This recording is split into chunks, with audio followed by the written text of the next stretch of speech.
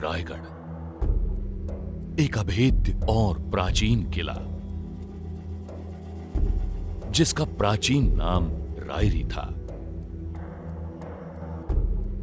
रायगढ़ पहाड़ी इलाके में है और अजिंक्य है। अपने पिता शाहजी महाराज के सुझाव को मानकर रायरी पहाड़ी के उत्तुंग शिखर पर छत्रपति शिवाजी महाराज ने रायगढ़ को बसाने का इरादा किया था।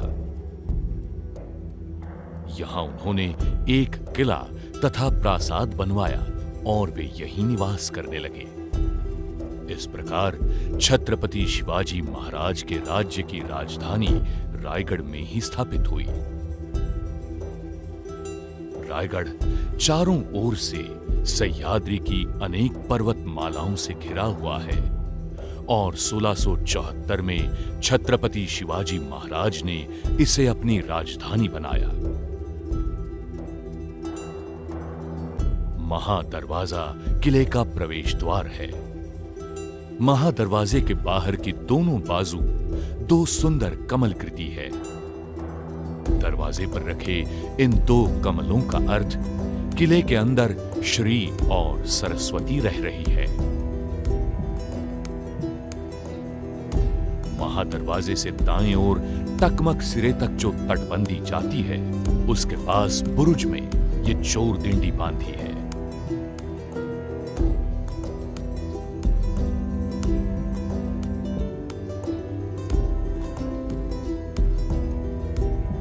हत्ती तालाब, गजशाला से आने वाले हाथी के स्नान के लिए और पीने के लिए इस तालाब का उपयोग होता था।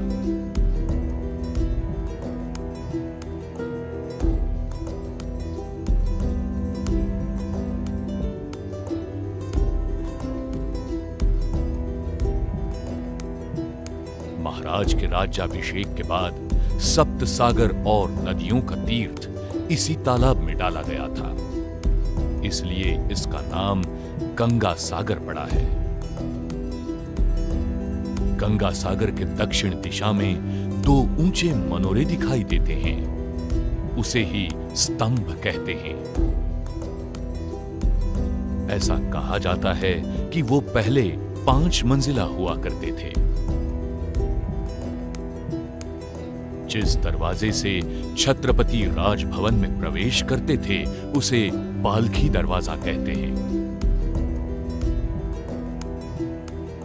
यही छत्रपति शिवाजी महाराज का निवास स्थान है, जिसे राजभवन कहते हैं। वाघ दरवाज़ा। महाराज ने महादरवाजा के साथ ही ये दरवाज़ा बनाया। इस दरवाजे से ऊपर आना असंभव सा ही है। मीणा दरवाज़ा। ये दरवाज़ा छत्रपति शिवाजी महाराज की रानियों के लिए बनाया गया है। उसी के आगे सात अवशेष दिखते हैं जो रानियों के महल है।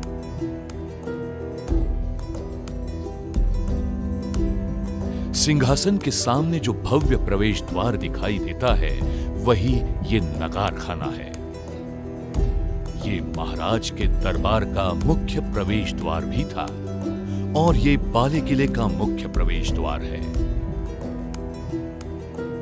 नगार खाने के सामने जो खुली जगह दिखाई देती है, वो है होळीचा माड़ शिव छत्रपति के पुतले के सामने दो पंक्तियों में जो भव्य अवशेष दिखाई देते हैं, वही शिवाजी महाराज के जमाने की बाज़ार पेट है।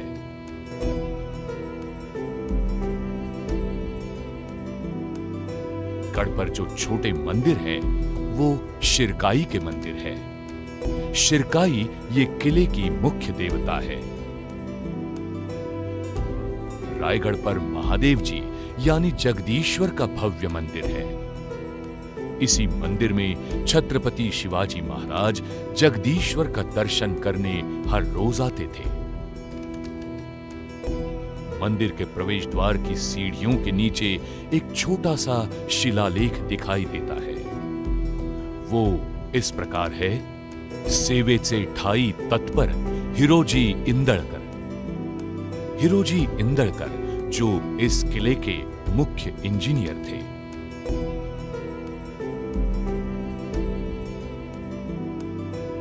मंदिर के आवास में ही छत्रपति शिवाजी महाराज की अष्टकोनी समाधि है।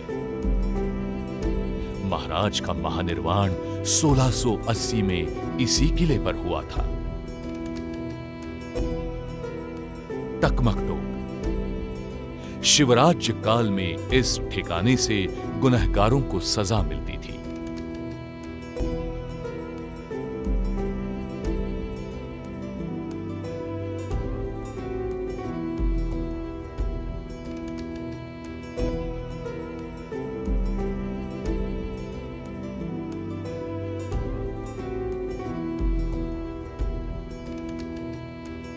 कवि भूषण रायगढ़ का वर्णन करते हैं। कि शिवाजी ने सर्व किले का आधार और विलास स्थान ऐसे रायगढ़ किले पर अपना निवास किया। ये किला बहुत बड़ा और विशाल है कि उसमें तीनों लोकों का वैभव समाया है। रायगढ़ पर राजा शिवाजी ने राजधानी बनाई और लोगों की इच्छा पूर्ण की। हिंदवी स्वराज्य की ये राजधानी आज भी अपना इतिहास बयां करती है। इसी उद्गार की अनुभूति रायगढ़ देखने पर आपको ज़रूर होगी।